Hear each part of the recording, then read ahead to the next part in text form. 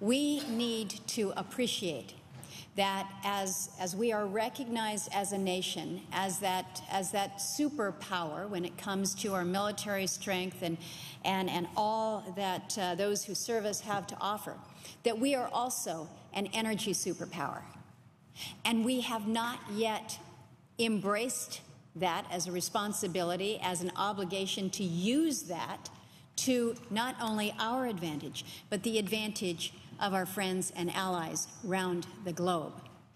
And that's an important transition, a transformation that we need to make. We are mired down in policies that are decades old, based on history that is no longer relevant given the geopolitics of today.